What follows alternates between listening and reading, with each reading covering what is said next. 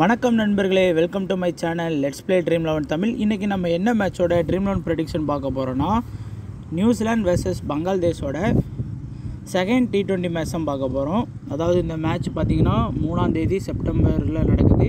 Time பார்த்திங்கன்னா மூன்றரை மணிக்கு இந்த மேட்ச் வந்து ஸ்டார்ட் ஆயிரும். இது வந்து second T twenty match already first T twenty match வந்து முடிஞ்சிருச்சு. பங்களாதேஷ் வந்து வின் பண்ணிட்டாங்க. இப்போ பார்த்தீங்கன்னா நீங்கள் இன்னமும் நம்மளோட டெலகிராம் சேனலில் ஜாயின் பண்ணலன்னா மறக்காமல் டெலகிராம் சேனலில் ஜாயின் பண்ணிக்கோங்க. லிங்க் வந்து டிஸ்கிரிப்ஷனில் கொடுத்துருக்கேன். அப்படி இல்லைனா நீங்கள் வந்து டேரெக்டாக டெலகிராம் போயிட்டு தமிழன் ட்ரீம் லெவன் அப்படின்னு சர்ச் பண்ணாலே நீங்கள் நம்மளோட டெலகிராம் சேனலில் ஜாயின் பண்ணிக்கலாம். முக்கியமான அப்டேட் ப்ளஸ் ஃபைனல் டீம் எல்லாமே நம்மளோட டெலகிராம் சேனலில் தான் கொடுத்துட்ருக்கோம். ஸோ மறக்காமல் டெலகிராம் சேனலில் ஜாயின் பண்ணி சப்போர்ட் பண்ணுங்கள் ஸோ நம்ம டெலகிராம் சேனலில் பார்த்தீங்கன்னா ஹண்ட்ரட் பர்சன்டேஜ் வந்து ஃப்ரீ டீம்ஸ் தான். எல்லா ஸ்போர்ட்ஸுக்குமே ஃப்ரீயாக தான் டீம்ஸ் கொடுத்துட்ருக்கோம். எல்லா ஸ்போர்ட்ஸுக்கான டீமுமே நீங்கள் வந்து என்னோட டெலகிராம் சேனலில் பார்த்துக்கலாம். என்னோடய பெஸ்ட்டு பார்த்தீங்கன்னா ஃபுட்பால் கிரிக்கெட் NBA எல்லாமே பெஸ்ட்டான டீம்ஸை வந்து நான் வந்து டெலகிராமில் வந்து கவர் பண்ணுவோம். டெய்லி எல்லா மேட்சும் கவர் பண்ண மாட்டேன். எனக்கு எது பெஸ்ட்டுன்னு தோணுதோ அந்த மேட்ச்சை மட்டும் அழகாக கவர் பண்ணி வின் பண்ணுறதுக்கு தான் பார்ப்பேன். அது மட்டும் இல்லாமல் டெய்லி டி டென் மேட்ச்லாம் தேவையில்லாத லீக்லாம் ஆடி உங்களோட காசை வந்து வேஸ்ட்டாக்க விரும்பலை. அதனால் விளாடுற மேட்ச்சை வந்து பெஸ்ட்டு மேட்சாக வின் பண்ணணும். அதான் என்னோட எய்ம் ஸோ இப்போ பார்த்தீங்கன்னா ஒரு பெஸ்ட்டான ஒரு ஆப்பை பற்றி பார்த்துட்டு அதுக்கப்புறம் நம்ம வீடியோக்குள்ளே போகலாம் ஸோ விஷன் லெவன் இந்த ஆப்பை பொறுத்த வரைக்கும் எல்லாருக்குமே தெரிஞ்சிருக்கும். அது தெரியாமல் நிறைய பேர் இருப்பீங்கன்னா ஸோ தெரிஞ்சுக்கோங்க. ஸோ இந்த ஆப்பில் பார்த்தீங்கன்னா உங்களுக்கு வந்து நிறைய ஃபியூச்சர் இருக்குது அதாவது செகண்ட் இன்னிங்ஸ் ஆடலாம் நீங்கள் அந்த ஆப்பில் அதுக்கப்புறம் பார்த்தீங்கன்னா உங்களோட அமௌண்ட்டை வந்து இன்ஸ்டண்ட்டாக விட்ரா பண்ணிக்கலாம். பேடிஎம் விட்ராவல் கூட இருக்குது டெய்லி வந்து ஏதாச்சும் ஒரு மேட்ச்சுக்கு இல்லைனா சிபிஎல்ல எல்லா மேட்ச்சுக்குமே ஃப்ரீயாக கிவ்அவே கொடுக்குறாங்க. ஸோ அதுவே நமக்கு வந்து போதுமானது தான் ஏன்னா டே காசு இன்வெஸ்ட் பண்ணாமலே வின் பண்ணுறதுக்கு நிறைய வாய்ப்பு இருக்குது இருக்கலே ஃபேண்டசி ஆப் ஆப்லே இருக்கலே விஷன் லெவனை மாதிரி ஒரு என்ட்ரி ஃபீஸ் வந்து கம்மியான உள்ள ஒரு ஆப் வந்து நீங்கள் பார்க்கவே முடியாது. அந்த மாதிரி என்ட்ரி ஃபீஸ் வந்து ரொம்பவே கம்மியாக வச்சுருக்காங்க. ஸோ தயவு செஞ்சு ஹையாக இன்வெஸ்ட் பண்ணுறவங்க இந்த ஆப் வந்து ரொம்ப யூஸ் பண்ணிக்கோங்க. ஏன்னா தயவு செஞ்சு ஹையாக இன்வெஸ்ட் பண்ணுறவங்களாம் ட்ரீம் லெவனில் விளாடவே விளாடாதீங்க. உங்களுக்கு ஒரு மேட்ச்சுக்கே என்ட்ரி ஃபீஸ் பார்த்தீங்கன்னா நூறுலேருந்து நூற்றம்பது ரூபா வரைக்கும் என்ட்ரி ஃபீஸ்லேயே குறையும். நீங்கள் பத்து மேட்ச் விளாண்டாலே உங்களுக்கு வந்து ஆயரூவா சொலையாக கிடைக்கும். ஸோ தயவு செஞ்சு விஷன் லெவனில் வந்து ப்ளே பண்ணிக்கோங்க. லிங்க் வந்து டிஸ்கிரிப்ஷனில் கொடுத்துருக்கேன். விஷன் லெவன் ஆப்போட லிங்க்கு ஸோ தாராளமாக டவுன்லோட் பண்ணிக்கோங்க. நீங்கள் என்னோட லெட்ஸ் ப்ளே கோடு மூலமாக டவுன்லோட் பண்ணிங்கன்னா தான் உங்களுக்கு வந்து அந்த ஹண்ட்ரட் ருபீஸ் கேஷ் போனஸ் கிடைக்கும். ஸோ மறக்காமல் டவுன்லோட் பண்ணிக்கோங்க. ஸோ எல்லாமே நம்ம சொன்னதான். ஸோ மறக்காமல் விஷன் லெவன் ஆப்பை டவுன்லோட் பண்ணிக்கோங்க. ஸோ ஃபஸ்ட்டு வந்து பிக்சர் ரிப்போர்ட்டை பற்றி பார்த்துடலாம் அதாவது இந்த பிச்சு ரிப்போர்ட் அப்படிங்கிறது என்ன அப்படின்னு கேட்டிங்கன்னா நான் ஏற்கனவே சொல்லியிருக்கேன். இந்த கிரவுண்ட் வந்து ஃபஸ்ட்டு மேட்ச்சில் இதே ரிப்போர்ட் தான் சொன்னேன். இந்த கிரவுண்ட் வந்து ரொம்பவும் லோ அண்ட் ஸ்லோவாக இருக்கும் இந்த பிச்சு வந்து அப்படின்னு சொன்னேன். அதே மாதிரி தான் லாஸ்ட் மேட்ச் பார்த்திங்கன்னா ரொம்பவும் கேவலமாக இருந்தது இந்த கிரவுண்ட் வந்து. அதாவது எந்த ஒரு கிரவுண்டும் என்னை பொறுத்த வரைக்கும் கிரிக்கெட் எக்ஸ்பீரியன்ஸில் வந்து நான் இந்த மாதிரி ஒரு கிரவுண்டை பார்த்ததில்லை. ஏன்னா ஃபுல்லாக ஸ்பின்னர்ஸ் தான் பவுலிங் பண்ணோம் ஃபாஸ்ட்டு பவுலர்ஸ் வந்து பவுலிங்கே பண்ண முடியாத அளவு லெவலுக்கு இருக்குது அப்படின்னா அது வந்து ஒரு கிரவுண்டே கிடையாது. அதுதான் பங்களாதேஷ் பவுலர்ஸ் ஃபாஸ்ட் பவுலிங் பண்ணால் எடுபடுது. நியூசிலாந்து ஃபாஸ்ட் பவுலர்ஸ்க்கு வந்து இதாக மாட்டேங்குது. ஸோ அந்த லெவலுக்கு வந்து பங்களாதேஷ்காரங்க வந்து கிரவுண்ட் அப்படி ரெடி பண்ணி வச்சுருக்காங்க. ஏன்னா அப்படி தான் ஆஸ்திரேலியாவையும் நாலுக்கு ஒன்றுன்னு வின் பண்ணாங்க. ஸோ இங் நியூசிலாண்டையும் அறுபது ரன்லேயே மடக்கி போட்டாங்க ஃபஸ்ட்டு மேட்ச்லேயும் ஸோ அந்த லெவலுக்கு ஒரு கேவலமான பிச்சாக தான் அந்த பிச்சு இருக்குது. ஸோ இந்த கிரவுண்டோட ஆவரேஜான ஸ்கோர் பார்த்திங்கன்னா நூற்றி இருபத்தஞ்சி ரன் தான் ஆவரேஜான ஸ்கோராக இருந்துகிட்ருக்கு அதுக்கப்புறம் பார்த்திங்கன்னா கொஞ்சம் மழை பெய்யறதுக்கு வாய்ப்பு இருக்குது ஸோ மழை பெய்ய வாய்ப்பு தான் இருக்குன்னு தவிர கண்டிப்பாக மழை பெய்யுமா அப்படின்னு கேட்டிங்கன்னா வாய்ப்பு தெரியாது. ஏன்னா மழை வந்து எப்படி வேணாலும் நடக்கலாம். ஸோ அது வந்து நேச்சுரல் ஸோ அதனால் நம்ம எதுவும் பண்ண முடியாது. ஸோ வாய்ப்பு இருக்குது அப்படின்னு சொல்லியிருக்காங்க. கொஞ்சம் பாசிபிலிட்டி இருக்குது அப்படின்ருக்காங்க அதுக்கப்புறம் பார்த்திங்கன்னா ரெண்டு டீமுக்குள்ள ஹெட் ஹெட் பார்த்திங்கன்னா பதினோரு மேட்ச்சில் இது வரைக்கும் நடந்த லாஸ்ட்டு பதினோரு மேட்ச்சில் நியூசிலாந்து வந்து பத்தும் பங்களாதேஷ் ஒன்றும் வின் பண்ணியிருக்காங்க. இது வரைக்கும் நியூ பங்களாதேஷ் வந்து நியூசிலாண்டை டி ட்வெண்ட்டியில் வின் பண்ணதே கிடையாது. ஆனால் முதல் முறையாக வந்து பங்களாதேஷ் வந்து நியூசிலாண்டை வந்து வின் பண்ணியிருக்கிறாங்க. ஸோ அந்த லெவலுக்கு இந்த மேட்ச் வந்து ஒரு முக்கியமான மேட்சாக இருந்திருக்கு பங்களாதேஷ்க்கு. அதுவும் கேவலமாக தோத்தாங்க. பங் நியூசிலாந்து வந்து அறுபது ரன்னு மட்டும் தான் அடித்தாங்க இருந்தாலும் பவுலிங்கில் கொஞ்சம் டஃப் கொடுத்தாங்க. இருந்தாலும் முடியலை. ஸோ ரீசன்ட் பெர்ஃபார்மன்ஸ் பார்த்திங்கன்னா நியூசிலாந்து வந்து லாஸ்ட்டு ஆறு மேட்ச்சில் நாலு மேட்ச் வின் பண்ணியிருக்கிறாங்க. இதாவது இந்த லாஸ்ட் மேட்ச் தான் லாஸ்ட்டாக நடந்த மேட்ச் இவங்க வந்து லாஸ்ட்டாக நடந்த மேட்ச்சில் வின் பண்ணாங்க.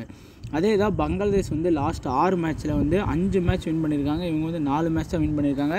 ஸோ கம்பேர் பண்ணும்போது ரீசெண்ட் ஃபார்மில் அதிகமாக இருக்கிறது பார்த்திங்கன்னா பங்களாதேஷ் தான் நல்ல ஃபார்மில் இருக்கிறாங்க ஸோ இதுதான் ரீசெண்ட் பெர்ஃபார்மன்ஸ் பார்த்துக்கோங்க ஸோ விஷன் லெவன் ஆப் ரொம்ப சொல்கிறேன்னு நினைக்காதீங்க. இது வந்து ரொம்ப யூஸ்ஃபுல்லான ஆப்பு அதனால தான் இவ்வளோக்குள்ளே கத்தி கத்தி சொல்லிகிட்ருக்கேன் ஒன்ஸ் நீங்கள் இன்ஸ்டால் பண்ணி அந்த ஆப்பை ஓப்பன் பண்ணி பாருங்கள் அதோட என்ட்ரி ஃபீஸ் எல்லாமே ஓப்பன் பண்ணி பாருங்கள் ஜஸ்ட்டு நீங்கள் விளாட கூட வேணாம். ஜஸ்ட் ஓப்பன் மட்டும் பண்ணி பாருங்கள் உங்களுக்கு புரியும் அப்புறம்.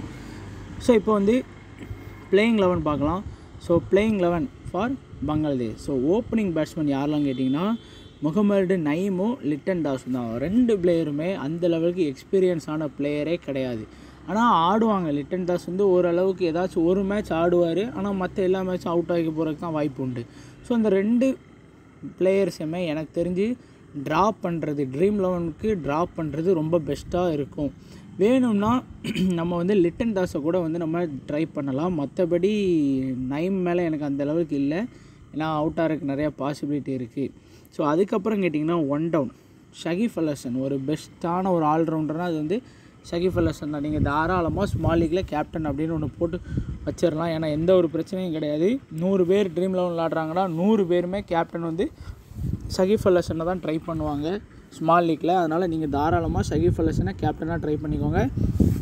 ஏன்னா பேட்டிங்கும் பண்ணுறாரு ஒன் டவுன் இறங்குறாரு பவுலிங்கும் நாலு ஓவர் போடுறாரு அப்படிங்கும்போது ரொம்ப முக்கியமான ரோலாக இருப்பார். அதுக்கப்புறம் பார்த்திங்கன்னா ரஹீம் நல்ல எக்ஸ்பீரியன்ஸான பிளேயர் நான் லாஸ்ட் வீடியோவில் சொல்லியிருந்தேன். ரஹீமு சஹீஃப் இவங்கெல்லாம் ரொம்ப எக்ஸ்பீரியன்ஸான பிளேயர் அவங்களுக்குலாம் எப்படி ஆடணும்னு தெரியும் இந்த மாதிரி சுச்சுவேஷனில் ஓரளவுக்கு நல்லா ஆடி கொடுப்பாங்க. அதனால் லாஸ்ட்டு மேட்ச்சில் பார்த்தீங்கன்னா கிரவுண்ட் வந்து ரொம்ப சேஞ்ச் ஆகிட்டு இருந்தது. டப்புன்னு ரெண்டு விக்கெட் விழுந்துட்டு பங்களாதேஷுக்கு. ஆனாலும் ரஹீமும் ஷகீப்பும் நின்று ஓரளவுக்கு ரன் கொண்டு போனதுனால தான் வின் ஆனாங்க. இல்லைனா இந்த ரன்னை கூட அடிச்சிருக்க மாட்டாங்க. ஸோ ரஹீம் வந்து நல்ல எக்ஸ்பீரியன்ஸான பிளேயர் லாஸ்ட் மேட்ச் வந்து பார்த்திங்கன்னா பதினாறு ரன்னு ஸ்கோர் பண்ணார். மகமதுல்லா அந்த டீமோட கேப்டன் பதினாலு ரன் ப்ளஸ் பவுலிங்கும் பண்ணுறாரு அதனால் கண்டிப்பாக டீமில் எடுக்கிறதுக்கு ட்ரை பண்ணி பாருங்கள் ஏன்னா அந்த கிரவுண்டே ஒரு ஸ்பின்னர் கிரவுண்டு தான். அஞ்சு ஸ்பின்னர் வச்சுருந்தாலும் ஒன்றும் சொல்ல முடியாது. ஏன்னா அது வந்து ஃபுல் ஸ்பின்னர் கிரவுண்டு தான். அதனால் மகமதுல்லாவும் பவுலிங் பண்ணுறாரு ஆனால் விக்கெட் எடுக்கல. இருந்தாலும் பவுலிங் பண்ணுறாரு நாளைக்கு நடக்கக்கூடிய மேட்ச்சில் வந்து விக்கெட் விழுறதுக்கு வாய்ப்பு இருக்குது அதனால் சொல்கிறேன் அதுக்கப்புறம் பார்த்திங்கன்னா அந்த நருள் கொஷன் அஷிப் கொஷன் இவங்கெல்லாம் யாருக்குன்னா நான் சொன்னேன் எடுக்காதீங்க அப்படிங்கிற மாதிரி தான் சொன்னேன். ஏன்னா அந்த அளவுக்கு ஒன்றும் பெருசாக பண்ணிட மாட்டாங்க. அதாவது ஸ்மால் லீக்லலாம் அந்த லெவலுக்கு ஒரு பெரிய இதை ஏற்படுத்த மாட்டாங்க ஒரு இதெல்லாம். அதனால் பிரச்சனை இல்லை. ஸோ பவுலிங்னு வரும்போது பார்த்திங்கன்னா மெகடிகேஷன் ஒரு விக்கெட் ஸ்பின்னர் ஷரீஃபுதீன் ரெண்டு wicket fast bowler Mustafizur Rahman மூணு விக்கெட் ஃபாஸ்ட் பவுலர் அதுக்கப்புறம் பார்த்திங்கன்னா நஷும் அகமது வந்து ரெண்டு விக்கெட் எடுத்தார் ஸ்பின்னர் ஸோ இதில் பார்த்தீங்கன்னா இந்த நாலு பிளேயரில் யாராச்சும் மூணு பிளேயர் வந்து நம்ம கண்டிப்பாக பிக் பண்ணி ஆகணும். ஸோ அதனால் நீங்கள் யார் அந்த மூணு பிளேயர் அப்படிங்கிறது வந்து கொஞ்சம் ரிஸ்க்காக தான் இருக்கும் ஆப்ஷன் வந்து. அதாவது அந்த கிரவுண்ட் வந்து ஸ்பின்னருக்கு ரொம்ப சப்போர்ட் பண்ணுது. அப்படிங்கும்போது நம்ம வந்து யாரெல்லாம் சூஸ் பண்ணலான்னு பார்த்தீங்கன்னா மெகடிகேஷன் அப்புறம் பார்த்தீங்கன்னா நஷும் அகமட் அதுக்கப்புறம் முஸ்டபிஸ் ரஹ்மான் ஸோ இந்த மூணு பிளேயரை நம்ம வந்து தாராளமாக சூஸ் பண்ணிக்கலாம். ஏன்னா ஷரீஃபுதீன் வந்து லாஸ்ட் மேட்ச் வந்து ரெண்டு விக்கெட் எடுத்தார். இருந்தாலும் நம்ம வந்து கொஞ்சம் ரிஸ்க் கொஞ்சம் சேஃபாக எடுக்கணும்னு நினச்சா ஷரீஃபுதீனை எடுத்துக்கலாம். இல்லை நமக்கு வந்து ஸ்பின்னர்ஸ் தானே விக்கெட் எடுக்கிறாங்க அப்படின்னு நினச்சிங்கன்னா நீங்கள் வந்து மெகடிகசன் முஸ்டபிசு ரஹ்மான் நஷும் மகமான் இந்த மூணு பேரையும் பிக் பிக் பண்ணிக்கோங்க. ஸோ பங்களாதேஷை பொறுத்த வரைக்கும் முக்கியமான பிளேயர்ஸ் இந்த டீமில் யாரெல்லாம் கேட்டிங்கன்னா ஷகீஃப் அல்லஷன் மகமதுல்லா லிட்டன் தாஸை சொல்கிறேன் ஏன் அப்படின்னு கேட்டிங்கன்னா எல்லாருமே கொஞ்சம் ட்ரை பண்ணுவாங்க. அதனால் சொல்கிறேன் அதுக்கப்புறம் கேட்டிங்கன்னா மெகடிகசன் முஸ்டபிசுர் ரஹ்மான் அதுக்கப்புறம் நஷும் அகமட் ஸோ இந்த ஆறு பிளேயர் மேலேயுமே நீங்கள் வந்து இம்பார்ட்டன்ஸ் கொடுங்க. அதாவது கிராண்ட் லீக்காகவும் இருக்கட்டும் ஸ்மால் லீக்காகவும் இருக்கட்டும் நீங்கள் வந்து கொஞ்சம் இம்பார்ட்டன்ஸ் அதிகமாகவே கொடுங்க மற்ற பிளேயர்ஸை விட. இப்போ வந்து நியூசிலாந்தோட பிளேயிங் லெவன் பார்க்கலாம். ஸோ நியூசிலாந்தோட பிளேயிங் லெவன் அப்படின்னு கேட்டிங்கன்னா ஃபஸ்ட்டு வந்து ஓப்பனிங் யாருன்னு பார்த்தீங்கன்னா பிளண்டலும் ரவீந்திராவும் ரவீந்திரா. ஸோ இதில் யார் ரொம்ப ஓ முக்கியமான பிளேயர்னு கேட்டிங்கன்னா ரவீந்திரா வந்து ரொம்ப முக்கியமான பிளேயர் ஏன் அப்படின்னு கேட்டிங்கன்னா அவர் வந்து ஓப்பனிங்கும் இறங்குறாரு நாலு ஓவர் பவுலிங்கும் பண்ணுறாரு ஒரு ஸ்பின்னர் அவர் வந்து. அதனால் இப்போ வந்து வேறு ஏதாச்சும் கிரவுண்டுன்னா அவர் வந்து பவுலிங் போடுறதுக்கு கொஞ்சம் கஷ்டம் அப்படின்னு சொல்லலாம். ஏன்னா இது வந்து ஸ்பின் கிரவுண்டு கண்டிப்பாக வந்து நாலு ஓவர் கண்டிப்பாக அவர் வந்து பவுலிங் பண்ணுறதுக்கு ஒரு எயிட்டி பர்சன்டேஜ் வந்து சான்ஸ் இருக்குது ஸோ ரவீந்திரா வந்து கண்டிப்பாக பிக் பண்ணிக்கோங்க.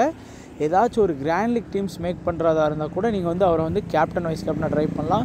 ஏன் ஸ்மால் லீக்கில் கூட நீங்கள் வந்து அவரை ரிஸ்க் எடுத்து வைஸ் கேப்டன் கேப்டனாக கூட நீங்கள் வந்து ட்ரை பண்ணலாம். அந்த லெவலுக்கு ஒரு இம்பார்ட்டண்ட்டான பிளேயர் ஒன் டவுன் யார் இறங்குறான்னு பார்த்தீங்கன்னா வில் யங் இவர் வந்து ஒரு அதிரடியான பேட்ஸ்மேன் ஆனால் லாஸ்ட் மேட்ச் வந்து அஞ்சு ரன் மட்டும் தான் ஸ்கோர் பண்ணார். அதுக்கப்புறம் கிராண்ட் கோம் கிராண்ட் கோமை பொறுத்த வரைக்கும் ஒரு வேஸ்ட்டு பிக் அப்படின்னு சொல்லலாம். ஏன் என்ன ஏன் அப்படின்னு கேட்டிங்கன்னா அவர் வந்து பவுலிங் பண்ணார்னா கூட நம்ம வந்து ஒரு சரி டூ டவுன் இறங்குறாரு ஒரு நாலு ஓவர் பவுலிங் பண்ணுறாரு அட்லீஸ்ட் ஒரு விக்கெட் எடுத்தால் கூட ஒரு பதினஞ்சு ரன் அந்த மாதிரி அடித்தா கூட அவரை பிக் பண்ணலாம். ஆனால் வந்து பவுலிங் ஆப்ஷன் கிடையாது. பேட்டிங்க்கு மட்டும் கிராண்ட் கோம்பை எடுக்கணுமா அப்படின்னு கேட்டிங்கன்னா ஸ்மால் லீக்கில் அது வந்து வேஸ்ட் பிக்காக தான் இருக்கும். ஸோ தயவு செஞ்சு கிராண்ட் கோம்பை வந்து பிக் பண்ணாதீங்க. அதுக்கப்புறம் லதாம் அந்த டீமோட கேப்டன் கீப்பரும் கூட ஸோ லதாமை பிக் பண்ணால் ஓரளவுக்கு நல்லா ஒரு முப்பது நாற்பது பாயிண்ட் கிடைக்கும் அவ்வளோதான் ஸோ ஹென்ரி நிக்கோலஸ் இவரும் ஓரளவுக்கு நல்ல டீசெண்டான பிளேயர் தான் நல்லா டெஸ்ட் பிளேயர் நான் லாஸ்ட் மேட்ச்சில் கூட சொன்னேன். ஸோ இவர் தான் கொஞ்சம் பதினெட்டு ரன் லாஸ்ட் வரைக்கும் நின்று அடித்தார் மற்ற எல்லாருமே ஒன் ஒன்று அவுட் ஆகிட்டாங்க ஸோ நியூசிலாந்தை பொறுத்த வரைக்கும் ஆறு தரமான பேட்ஸ்மேன் மட்டும் தான் வச்சுருக்காங்க. ஸோ இவங்க எல்லாருமே பேட்டிங்ஸ் தான். பவுலிங் அப்படின்னு வரும்போது பார்த்திங்கன்னா மெக்கோஷின் அதுக்கப்புறம் பிராக்வெல் அதுக்கடுத்து அஜித் பட்டேல் டிங்னர் டஃபி. இதில் பார்த்தீங்கன்னா ஸ்பின்னர்ஸ்லாம் யாருன்னு கேட்டிங்கன்னா அஜாஸ் பட்டேல் வந்து ஸ்பின்னர் ஏன்னா அவர் வந்து கண்டிப்பாக நாலு ஓவர் போடுறாரு. லாஸ்ட் மேட்ச்சில் கூட ஒரு விக்கெட் ஸ்கோர் பண்ணார். அதுக்கப்புறம் பார்த்திங்கன்னா மெக்கோன்சி. ஸோ இவருமே லாஸ்ட் மேட்ச் வந்து நாலு ஓவர் பவுலிங் பண்ணார். ஒரு விக்கெட் ஸ்கோர் பண்ணார். ஸோ மற்ற எல்லாருமே பார்த்திங்கன்னா ஃபாஸ்ட் பவுலர் பவுலிங்கே கொடுக்கல அவங்களுக்குலாம் அட்லீஸ்ட் மொத்தமே பதிமூணு ஓவர் கிட்டமாக போட்டாங்க. அதில் பார்த்திங்கன்னா டிங்னரும் சரி டஃபியும் சரி பிராக்கலும் சரி பவுலிங்லாம் அந்த யூஸ் பண்ணல. ஸோ க எனக்கு தெரிஞ்சு இந்த மேட்ச்சில் வந்து எக்ஸ்ட்ரா ஒரு ஸ்பின்னர் ஆப்ஷனோட வர்றதுக்கு வாய்ப்பு அதிகமாக இருக்குது அப்படி வந்தாலும் ரவீந்திராவுக்கு வந்து ஓவர் கம்மி ஆகாது ஸோ ரவீந்திராவையும் கண்டிப்பாக ஞாபகம் வச்சுக்கோங்க. நாலு ஓவர் பவுலிங் பண்ணுறாரு ஓப்பனிங் இறங்குறாரு. ஸோ நியூசிலாந்தில் யார் முக்கியமான பிளேயர்ஸ் அப்படின்னு கேட்டிங்கன்னா ரவீந்திரா வந்து ஃபஸ்ட்டு இம்பார்ட்டன்ட் பிளேயர் அப்படின்னு சொல்லுவேன். அதுக்கப்புறம் கேட்டிங்கன்னா அஜாஸ் பட்டேல் வந்து அதை நல்ல முக்கியமான பிளேயர் அதுக்கப்புறம் பார்த்திங்கன்னா மெக்கான்ச்சி நல்ல முக்கியமான ஒரு பிளேயர் அதுக்கப்புறம் பார்த்திங்கன்னா லதாமே நிக்கோலஸ். ஸோ இந்த அஞ்சு பிளேயர் மேலேயும் நல்லா ஃபோக்கஸ் பண்ணிக்கோங்க. நல்ல முக்கியமான பிளேயர்ஸ்லாம் நல்ல ஜிஎல்ல ட்ரை பண்ணிக்கோங்க. இப்போது ஸ்மால் லீக்கில் யாரை கேப்டன் வைஸ் கேப்டனாக போடலாம் அப்படின்னு பார்த்தீங்கன்னா என்னை பொறுத்த வரைக்கும் ஃபஸ்ட்டு சாய்ஸ் வந்து எல்லாருமே யூஸ் பண்ணுறது வந்து சகிஃப் அல்லசனை வந்து எல்லாருமே கேப்டனாக ட்ரை பண்ணிடுவாங்க ஸோ வேறு யாரையும் நீங்கள் வந்து கேப்டனாக ட்ரை பண்ணவே வேணாம். வைஸ் கேப்டனுக்கு பார்த்தீங்கன்னா ஸ்மால் லீக்கில் நீங்கள் வந்து முஸ்டபிசு ரஹ்மானை ட்ரை பண்ணலாம். ஏன்னா லாஸ்ட் மேட்ச் வந்து நான் ரஹ்மானை ட்ரை பண்ணியிருந்தேன். மூணு விக்கெட் ஸ்கோர் பண்ணார். அதனால் நல்ல ஒரு ரேங்கிங் போக முடிஞ்சது. ஆனால் ஒரு ஆவரேஜான ரிசல்ட் தான். ஃபஸ்ட்டு மேட்ச்சில் ரொம்ப அல்ட்ரா க்ளீன்ஷிப்லாம் ஆகலை. ஸோ இன்வெஸ்ட் பண்ண காசு மட்டும் தான் ரிட்டர்ன் வந்தது. அதுக்கப்புறம் பார்த்தீங்கன்னா நசும் அகமது ஏன்னா ஸ்பின்னர் கண்டிப்பாக ஒரு ரெண்டு இல்லை மூணு விக்கெட் கூட ஸ்கோர் பண்ணுறதுக்கு வாய்ப்பு இருக்குது முஸ்டபிசு ரஹமான் மாதிரியே. அதனால் நீங்கள் வந்து நசும் அகமடையும் ட்ரை பண்ணலாம். அதுக்கப்புறம் பார்த்திங்கன்னா ஆர் ரவீந்திரா. ஸோ இவரும் ஓப்பனிங் ப்ளஸ் நாலு ஓவர் போடுறாரு. ஸோ இவருக்குமே நீங்கள் வந்து வைஸ் கேப்டன் சாய்ஸ் கொடுக்குறதுல ஒன்றும் பிரச்சனை கிடையாது. ஸோ இவரும் அந்த லெவலுக்கு ஒரு முக்கியமான பிளேயர் தான். அதனால் இந்த நாலு பிளேயரையும் வந்து நீங்கள் வந்து எஸ்எல்ல வந்து தாராளமாக ட்ரை பண்ணலாம். உங்களோட ஆப்போனண்ட் பார்த்தீங்கன்னா இந்த நாலு பேரை தவிர வேறு யாரையும் ட்ரை பண்ணுறதுக்கு பாசிபிலிட்டி வந்து ரொம்ப ஹை கம்மியாக இருக்கும் லோவாக இருக்கும். அதனால் இந்த நாலு பிளேயரை நீங்கள் ட்ரை பண்ணலாம் தாராளமாக கிராண்ட் லீக்கில் கேப்டன் வைஸ் கேப்டனாக சாய்ஸ் யாருக்கும் கொடுக்கலான்னு பார்த்தீங்கன்னா மகமதுல்லாவுக்கு கொடுக்கலாம். பங்களாதேஷ்லேருந்து மகமதுல்லா ஏன்னா அந்த டீமோட கேப்டன் ஒரு த்ரீ டவுன் இறங்குறாரு ப்ளஸ் பவுலிங்கும் பண்ணுறாரு அப்படிங்கும்போது ஒருவேளை மகமுதுலா வந்து திடீர்னு பேட்டிங்கில் பவுலிங் ஏதாச்சும் ஒன்றில் சிறப்பாக பண்ணால் கூட நம்ம வந்து நல்ல ரேங்கிங் போகிறதுக்கு வாய்ப்பு இருக்குது அதுக்கப்புறம் பார்த்திங்கன்னா ஷரீஃபுதீன். லாஸ்ட்டு மேட்ச்சில் வந்து ரெண்டு விக்கெட் எடுத்தார். இந்த மேட்ச்லேயும் அதே மாதிரி ஏதாச்சும் பவுலிங் பண்ணி பவுலர்ஸ் அவுட் ஆக வேண்டிய சூழ்நிலை இருந்தால் விக்கெட் எடுத்துருவார். அதனால் ஷரீஃபுதீனையும் நீங்கள் வந்து கிராண்ட் லீக்கில் ட்ரை பண்ணலாம். அதுக்கப்புறம் பார்த்திங்கன்னா மெக்கான்ச்சி. ஸோ இவரும் ஒரு நல்ல ஒரு ஆல்ரவுண்டர் தான். ஏன்னா நாலு ஓவர் பவுலிங் பண்ணுறாரு ஆறாவதாக இறங்குறாரு. அதனால் லாஸ்ட் மேட்ச் மாதிரி ஒருவேளை நியூஸில் வந்து டப்பு டப்புன்னு விக்கெட் எடுத்துட்டாங்கன்னா பேட்டிங் பண்ணுறதுக்கு வாய்ப்பு இருக்குது ப்ளஸ் நாலு ஓவர் ஃபுல் ஓவர் பவுலிங் பண்ணுறாரு ஒரு ஸ்பின்னர் விக்கெட்டும் எடுக்கிறாரு அப்படிங்கும்போது கிராண்ட் லீக்கு ஒரு நல்ல ஆப்ஷனாக இருப்பார். அதுக்கப்புறம் பார்த்திங்கன்னா அஜாஸ் படேல் அந்த டீமோட ஒரு பெஸ்ட்டு ஸ்பின்னர் அப்படிங்களா அதாவது மெக்கான்ஜாவும் இருக்கட்டும் ரவீந்திராவும் இருக்கட்டும் இவங்களாம் ஒரு பேட்டிங்கும் இருக்குது அப்படிங்கும்போது அவங்க வந்து பவுலிங்கில் ஃபோக்கஸ் பண்ண மாட்டாங்க. அதாவது ப்ராக்டிஸில் ஆனால் இவர் வந்து ஃபுல் அண்ட் ஃபுல் வந்து ஒரு ஸ்பின் பவுலர் அதனால் அஜாஸ் பட்டேல் வந்து நல்ல ஒரு ஸ்பின் பவுலர் ஸோ கிரவுண்டுக்கு ஏற்ற மாதிரி ஸ்பின் எடுபட்டு ஒரு விக்கெட் கிடச்சா கூட நிறைய வாய்ப்பு இருக்குது ஸோ இந்த நாலு பிளேயரை நீங்கள் வந்து கிராண்ட் லீக்கில் ட்ரை பண்ணிக்கோங்க. ஸோ மை ப்ரிவ்யூ டீம் பார்த்தீங்கன்னா